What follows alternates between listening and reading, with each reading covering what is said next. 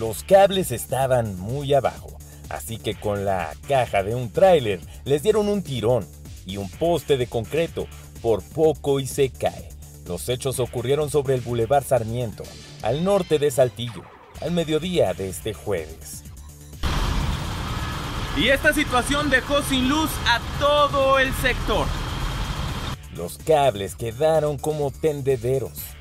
El paso se bloqueó para que una cuadrilla de la Comisión Federal de Electricidad realizara la reconexión entre las calles de Prolongación Portugal y Noruega, en la colonia Villas de Luxemburgo, al norte de la ciudad.